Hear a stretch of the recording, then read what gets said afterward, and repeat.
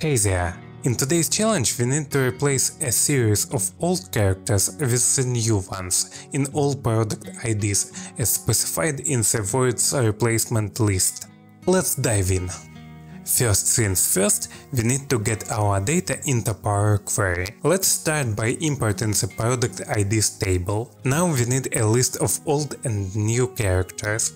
Here's a quick tip, instead of loading it from scratch, just create a new step in the Power Query editor, then copy the code from the formula bar and change the table name to table2. This way we can quickly switch to working with our replacement list.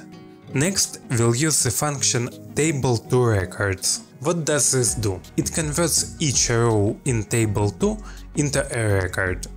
Think of each record as a mini data package containing all the values in that row, like old and new text replacements, ready to be used in transformations. But why records? Because they allow us to treat each row as a single item we can work with during our text replacement process. We can't directly use a table here, because we need to reference the columns like old and new in our upcoming operations. Let's return to our product IDs table. We can do this by creating a new step and typing source in the formula bar. This brings our main table back and now we are ready to modify it. To do this, we'll use the function table transform columns. It's a pretty straightforward function that lets us change specific columns in a table. The first argument is the table we are working on, in this case our source table. The second argument is the column we want to transform and here it's the product IDs column. Now you might notice nothing has changed yet. That's because we haven't told Power Query what to do with the data. The real transformation starts now.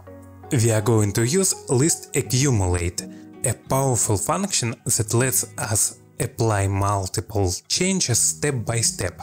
But first, what does it actually do? Think of it like this. List accumulate goes through a list, in our case the replacement rules, and applies each rule one by one to the product IDs. It's like adding layers of edits to each product ID. The first argument, the list, is our replacement list, which we've already converted to records. The second argument is called the seed.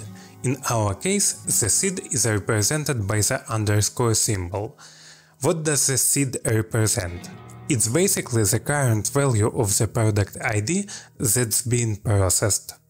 Every time the function applies a rule, it starts with the current value of the product ID. The third and the final argument is the accumulator. Think of it as the function that carries out our transformation. For each item in the replacement list, the accumulator will take the current product ID, that's the seed, and apply a transformation to it. The XY part of the code is a lambda function, also known as an anonymous function. In Power Query this is commonly used to define transformation and calculations in a concise way. X represents the current value being processed, in our case it's each individual product ID. Y represents each record from the replacement list. So how do we actually make the replacement happen? Simple, we use text replace. Here's how it works. Take the current product ID, X, find any part of it that matches the old value, Y old, and replace it with the new value, Y new.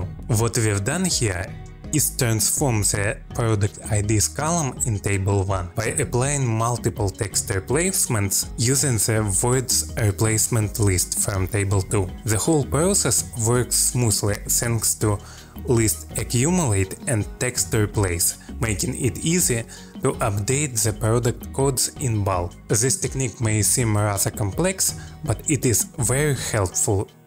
See you in the next video.